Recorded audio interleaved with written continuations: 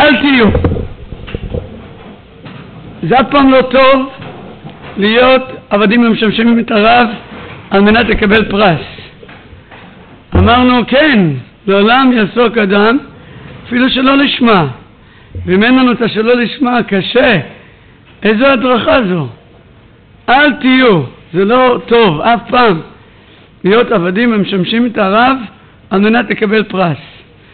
מסביר הרב קוק חידוש לעולם יעסוק אדם שלא לשמה, שמתוך שלא לשמה יבוא לשמה, זה מחדש, משהו גדול. הוא אומר, זה לא הכוונה, לעולם יעסוק אדם שלא לשמה. למה? למה כדאי? כי מתוך שלא לשמה יבוא לשמה. טעות.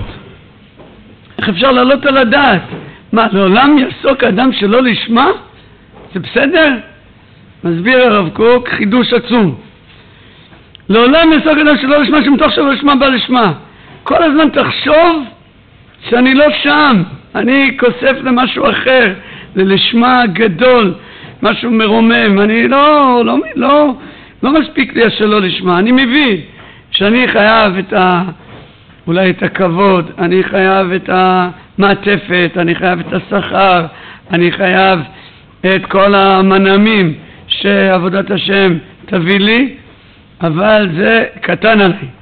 אני יודע שזה, כי אני עכשיו קטן, אני יודע שיש משהו גדול שמחכה לי. אני ילד קטן, צריך את השוקולדים והכל בסדר, אבל אני כל הזמן בתודעה הזאת שבתוך שלא לשמה בא לשמה.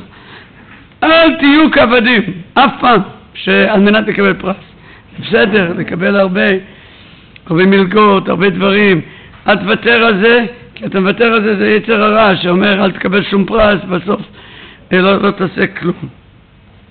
שואל הרב קוק איך יבוא אדם למדרגה גדולה כזו שלא על מנת לקבל פרס.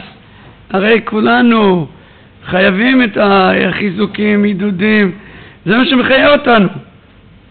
הוא מסביר משל לאדם שהצליח להציל שכונה שלמה מאש ופשוט הציל הצלת נפשות, משהו, משהו אדיר שהוא בגללו ניצלו מאות אנשים, זו הרגשה אדירה. ובא מישהו, באה עירייה, נותנים לו חמשת אלפים שקל. זה טוב, חמשת אלפים שקל, אבל אם הוא בטעות יחשוב שזה כדאי, הנה, קיבל, הרווחתי חמשת אלפים שקל, אז הוא אדם קטן, אדם שלא מבין מה הוא עסק, הוא גימד את הכל. מותר לו, מותר לקבל את הפרס, יאה, נאה, אבל אם ככה זה בנוי, אם, אם ככה הוא מחשיב, אז סימן שהוא בכלל לא מבין מה זה אהבת השם, מה זה עבודת השם, מה השלימות, מה השמחה, במה הוא עוסק. אם הפרס פה הוא משמעותי, אז זה לא הדרכה שאסור לקבל פרס. זה אם הוא מבין, אם זה על מנת, אם הוא, לזה הוא מייחד, אם הוא אומר זה מה ששווה, סימן שהוא איבד את המורא שמיים. מה זה היראת שמיים? יראת שמיים זה לא יראת העונש, זה לא אפילו יראת חטא, זה הוא, הוא ב, עומד נדהם ו, ו, והוא כמעט עומד דום כמו שהשמיים מגודל הרוממות וגודל העשייה. הוא עכשיו הציל עיירה שלמה הוא עכשיו עוסק במלאכת שמיים. ואם יש לו את, ה, את האופי הזה שמורה שמיים עליו אז זה אה, האדם השלם שהוא חי בתודעה שמשהו גדול, משהו טהור, שהוא מסת...